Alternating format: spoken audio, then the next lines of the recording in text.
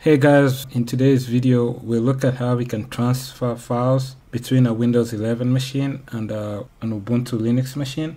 So this is the Windows 11 machine and this is the Ubuntu Linux machine. Let me go ahead and log in.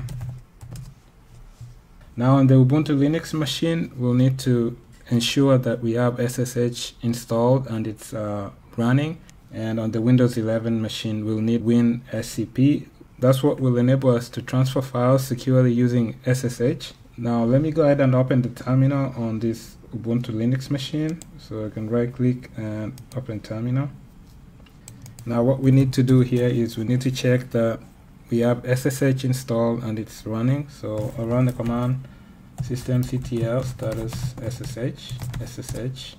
And in our case here we see that it's uh, inactive but it's installed.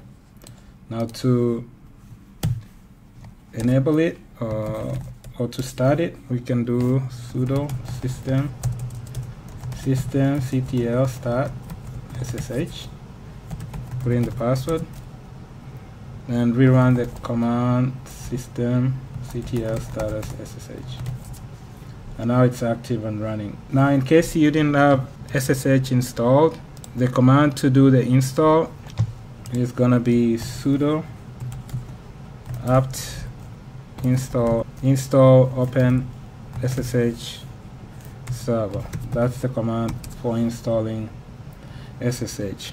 The other thing we'll need on this Ubuntu Linux machine is the IP address. We can do IP address here. And the IP address is 172.16.1.105. This is the IP address we'll need to input on the Windows 11 device. So let's go to Windows 11 and like I said here we need to download WinSCP that allows us to use SSH to transfer files between the two machines. So we'll open a browser and then what we'll do is we'll search for WinSCP download. So let's Google for WinSCP download and we'll go to the winscp.net site. Now at, the, at this site there's this link to do the download. So click on the link. And the download should begin and it's a quick download. It's already done. Let's go ahead and uh, open the file explorer and then go to by default it should be downloaded to your downloads folder. So this is the file right here. Let me go ahead and delete one of these files Now to install it, just double click on the file.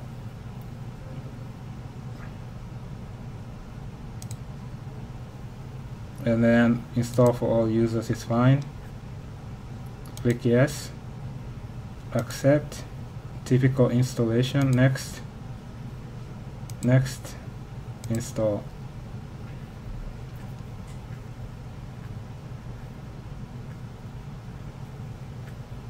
And the installation is complete. Click finish and there's the icon. I'll go ahead and open WinSCP so you can even search for it here. So let's open the app and this is the app right here. Now for us in order for us to connect to the Ubuntu Linux machine we'll need like I said earlier you need the IP address as the host name. So 172 1.16.1.105 was the IP address.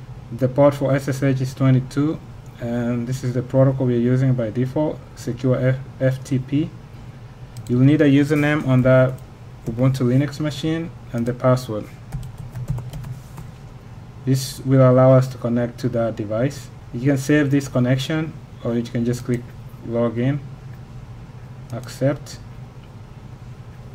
And as you can see, there's two windows here. One is showing or listing the directories that are on the Ubuntu Linux machine right here. And one is listing the files or the folders on this Windows 11 device. Now you can navigate. For instance we can go to downloads to see what's on the downloads folder. And same thing here you can navigate. Right now it's pointing to OneDrive you can go to say downloads and you can see you can see even the WinSCP file we downloaded is listed here. Now when it comes to transferring files between the two, all you have to do is select a file and then drag and drop it. For instance, if I wanted to copy or transfer this text file from the Windows 11 device to the Ubuntu Linux device, I'll just determine what folder I want to move it to. Let's say I want to put it on the desktop. I'll just select it, drag and drop it here, click OK. And now if I go to this device, Ubuntu Linux, and if I cd to the desktop, I do ls, and that's the file right there. Uh, we can go in the other direction. We can also transfer from the Ubuntu Linux device to the Windows 11 device. As you can see on the home directory here, we have these two files. If we wanted to, let's say, transfer this file, I can grab, I can select it, then drag and drop it over to this device and it should be on this device now right here. Under downloads if I open file explorer and there's the file right there that we just transferred from the Ubuntu Linux machine to the Windows 11 machine. So that's all for this video. That's how you can easily transfer between your Windows 11 device and the Ubuntu Linux machine. So I hope this information has been helpful. I'll catch you in my next video. Thanks. Bye.